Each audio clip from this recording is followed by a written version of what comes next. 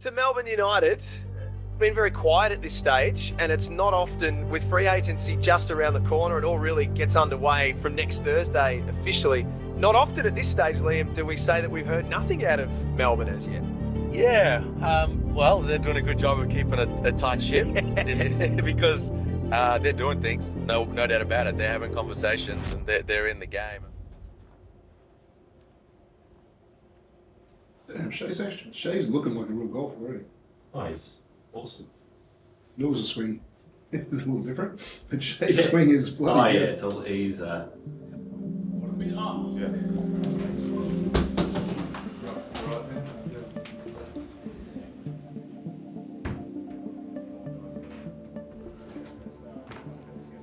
It's probably a good start just to follow up on where you got to with the recruiting profiles that we sort of said, hey, let's dig into these ones a bit deeper at the last catch up. Cool. Dino, why don't you um, update the group on the Flynn Cameron one? Yeah, so um, wanted to finish his studies and schooling, all his exams um, Tuesday over there, so tomorrow. He was talking about after the Tuesday that we could set up a Zoom with him and, and do that. So hopefully in the next couple of days we'll set up a Zoom with him and have a have a good chat.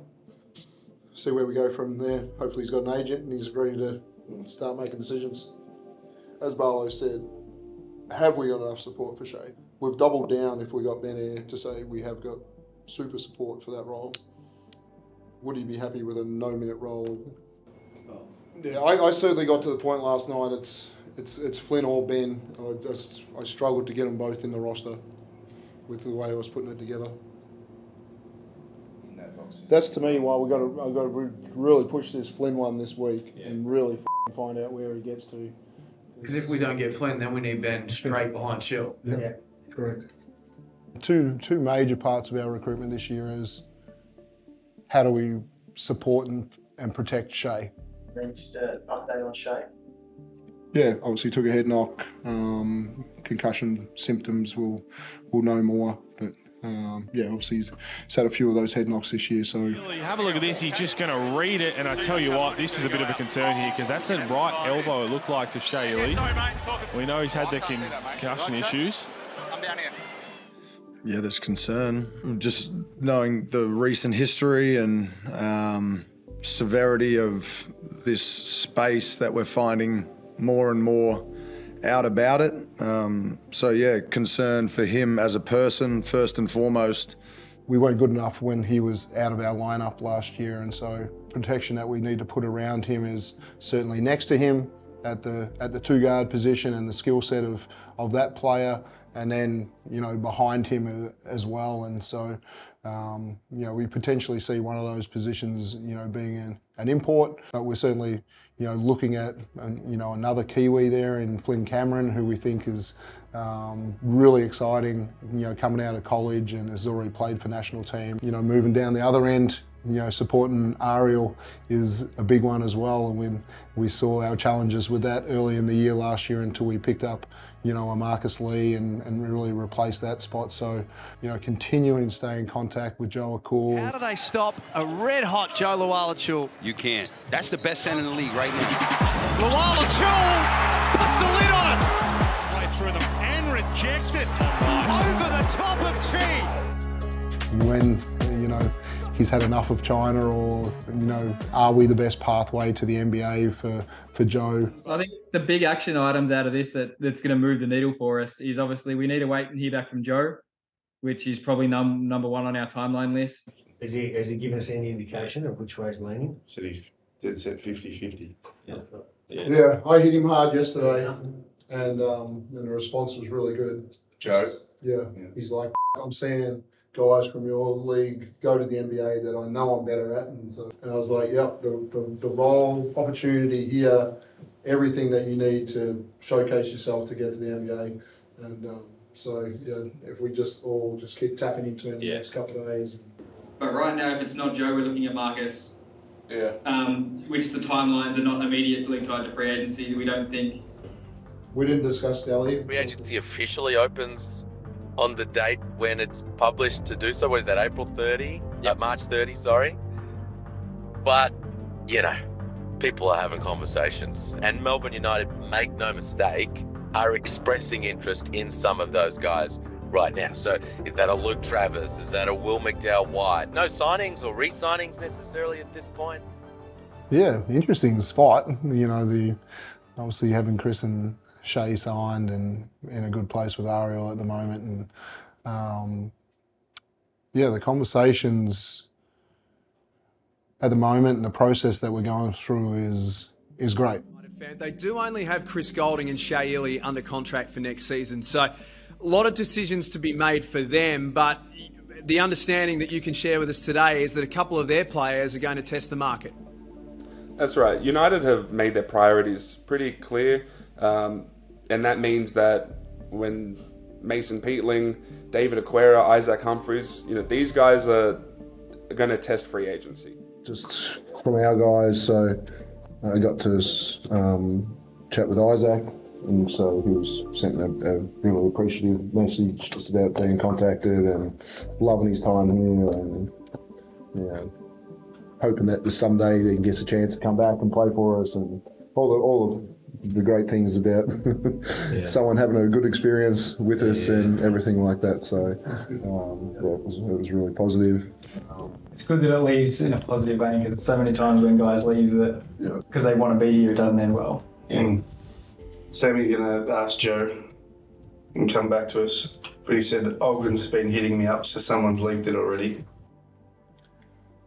So I suppose the interesting one with Jo and with Olgun saying that sort of thing is that we've we've signed off Ariel's contract overnight. So that's something else to. Yeah, I mean, we let yeah. Ariel go down with injury though, so for me, the big man cover is pretty important. And then if it was Jo that went down, so we need to say yes, does this work or not? I agree with that. But do we think that's going to win us the championship? That's what I'm putting on the table. Like, we've got to be sitting in here putting together a team that we're going to think is going to win the championship. We all got also got to do it sustainably. I think there's been more discussion with a wider group of people involved in the club, more from the coaching staff, more from some ownership about how we put this team together. And um, you know, that's that's modern day sport is that more people are getting involved in, in decision making, but I think for the better in this one to say, you know, people have really challenged me where sometimes I fall in love with something and want to move down that path quickly. It's like, no, let's take our time, let's get through our process and make sure that we've, we've ticked all the boxes and we still might get to the same point, but um, we got there with a, a, better process and then hopefully a better outcome. Well, I think we've been pretty high on Krebs to add that shooting, haven't we? Oh, absolutely.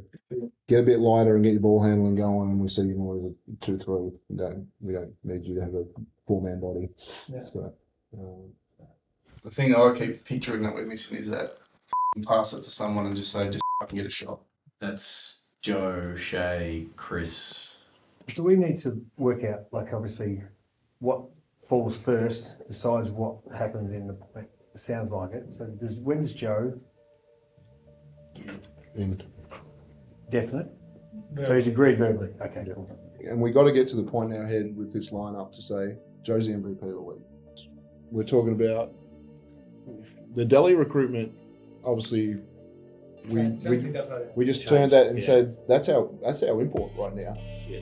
Well, we are assembled together once again on the marketplace because this is not a drill. Matthew Dellavedova is returning to the Hungry Jacks NBL for NBL 24. Yeah, it, this this gives Melbourne United, you know, just elite local talent across the board. You know, Delly's one of those guys that when when he, he's got something to, to really fight for and you know he, he loves to make people that don't believe in him really believe and and I think there's a lot of um, that that comes through with I didn't quite achieve what I wanted to achieve at United, and I've got to go back and end up with a with an NBL championship, and, and that's important to him in his career.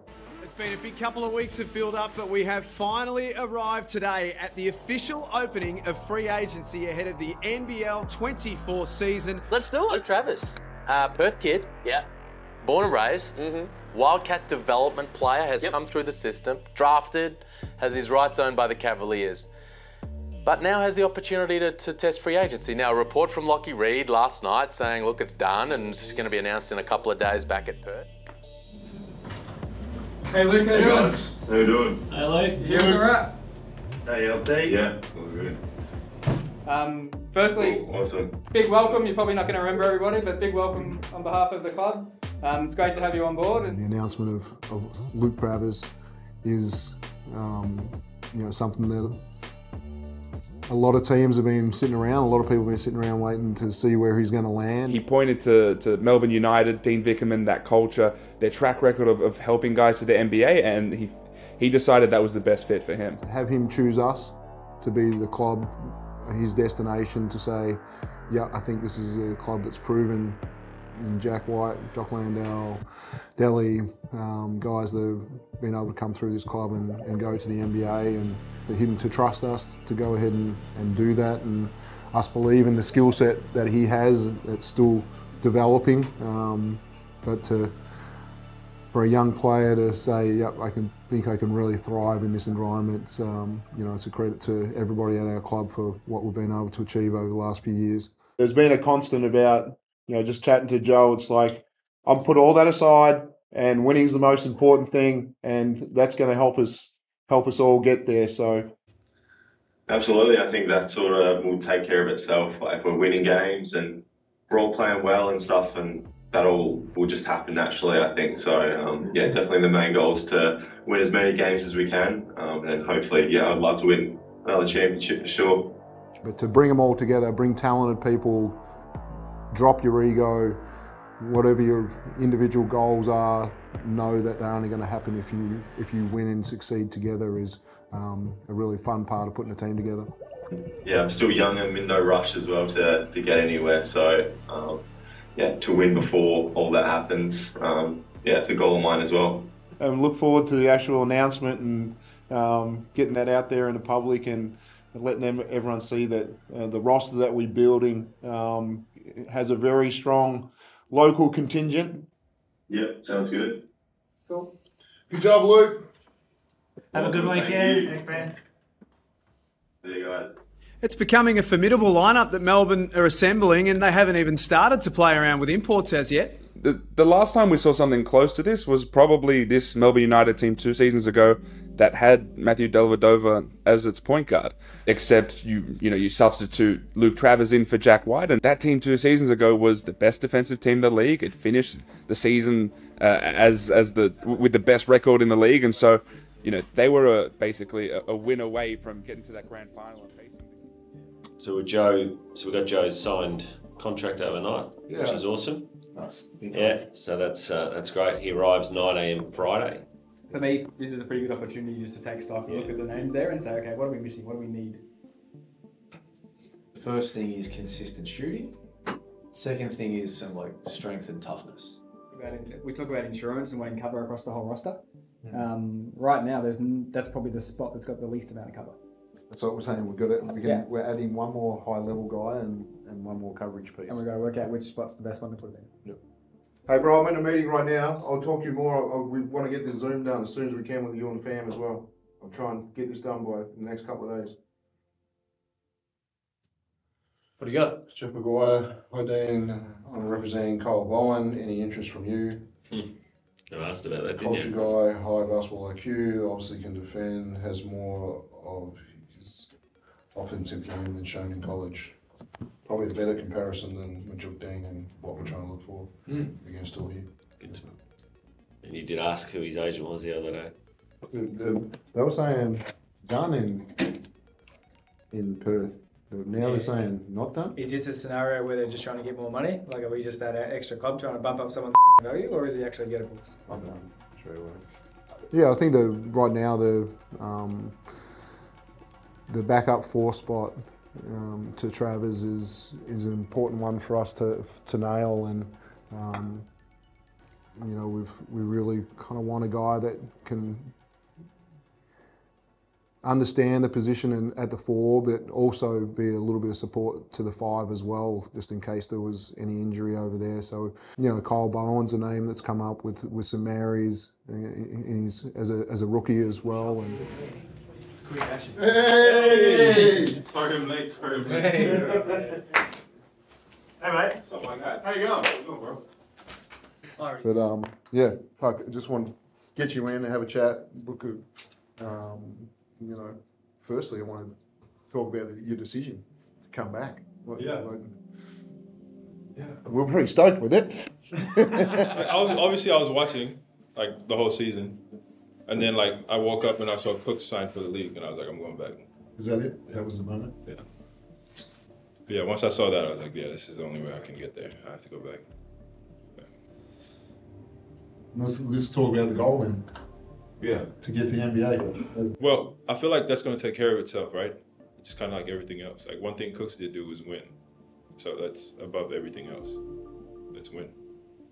I like, you know, I wanted to challenge you with the, um, you know, making the NBA and us, and it was you solved that one pretty simply to say that's just the end result of, of winning, which, which is great.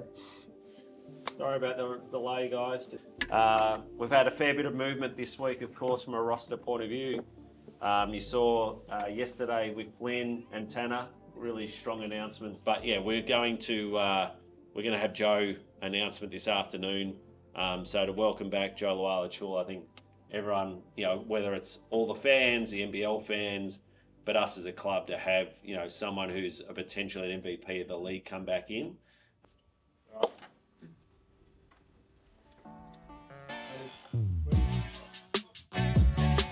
We've made it. We're on the strip, Las Vegas, NBL at NBA Summer League action, and it is set to be a massive one. Yeah, I think that's a part of it to talk through, and it was a little different for us this year, um, knowing that we only had the one player, the really, that we were looking at, and, and then things slightly changed as as that went on. So, yeah, I, I think as a group we were just so um, felt really comfortable with the fact that we'd got our roster in a, in a really good position. Um, and the fact that we only had the one spot to really fill out. And I think, you know, it was interesting getting flashbacks as I was flying over thinking, wow, like, you know, this time last year we went in with a similar sort of scenario and then, you know, we hit the ground and um, all of a sudden. Nick Truelson, it's nice to see you in Vegas. Tough news, obviously, recently with Jo Lual-Acuil was very exciting to have him back in the league. Still is, but going to miss some time.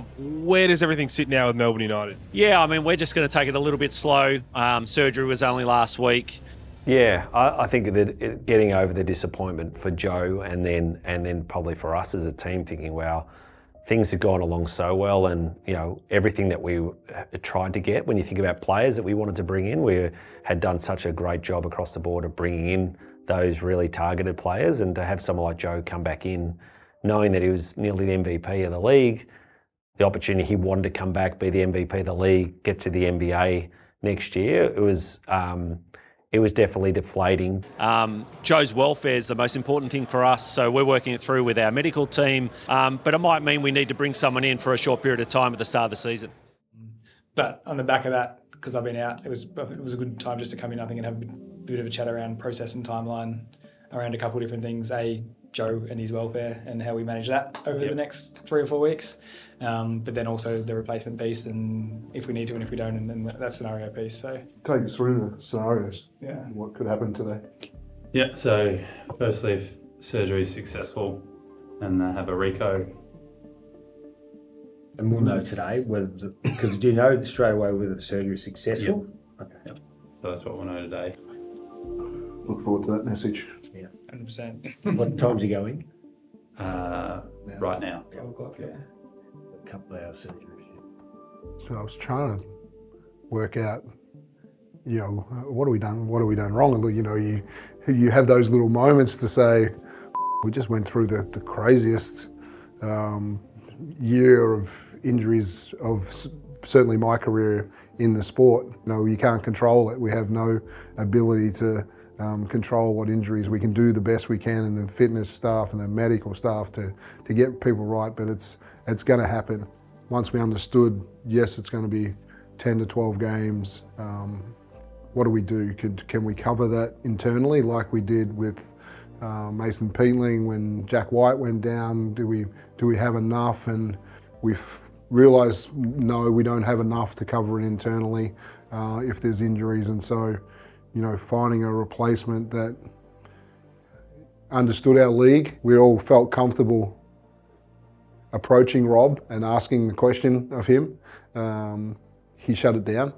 An Olgun bomb just arrived on my phone. Well, like as we're recording. About Melbourne United Hmm. and this Jo Lual-Acuil situation, literally as we're recording, Rob Loe has signed with Melbourne United as a nominated replacement player, sources told Mr. Uluc. That is the best of uh, of of a, a solid bunch of replacement players, and yeah, I like that signing a lot for Melbourne.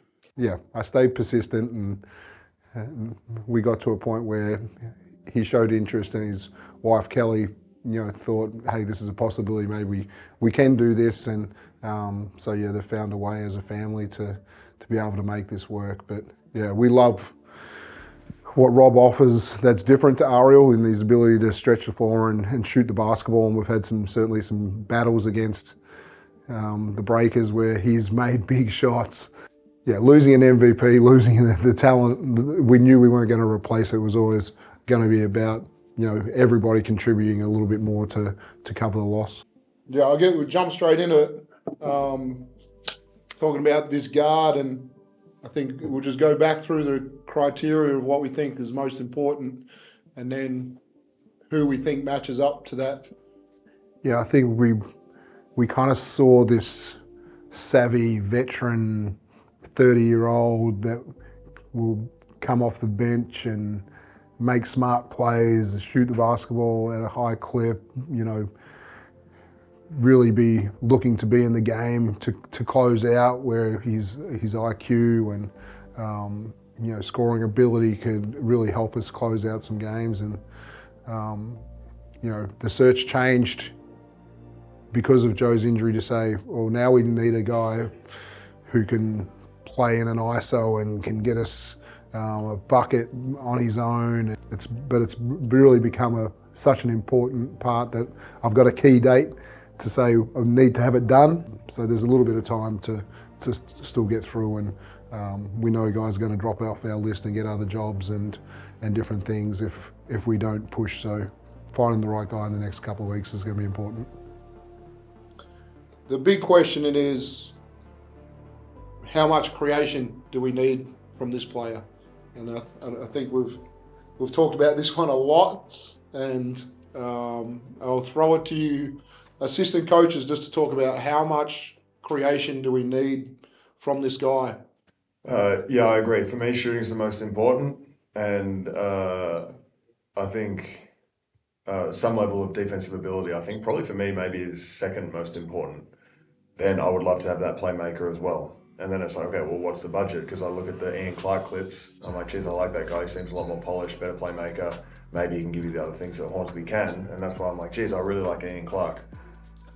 But if it's not a reality, and it's like, well, you can't get the guy that ticks the box of being an elite shooter, being a reasonably good defender, and a playmaker. It's like, well, if it can't happen, I think I would tend towards ticking the shooting box and the defense box if I have to only have two out of three rather than the playmaking box. Although I would love to have it, and if there's any way someone like an Ian Clark can occur, well then I would love to for us to explore it. I think Jo going down hurts our ability to wait long term on this. Like to get a guy in and have him here for a little while and have him firing by the start of the season, I think is going to be really important. I'd take a 10 day preseason with Ian Clark over a four week, five week preseason with anyone else on this list. Though. So yeah, to me, walking out of this meeting to say we haven't found the perfect guy, or we kind of have in Ian Clark, but we kind of we don't know yet. Um, so I, I think we we keep working for another another week.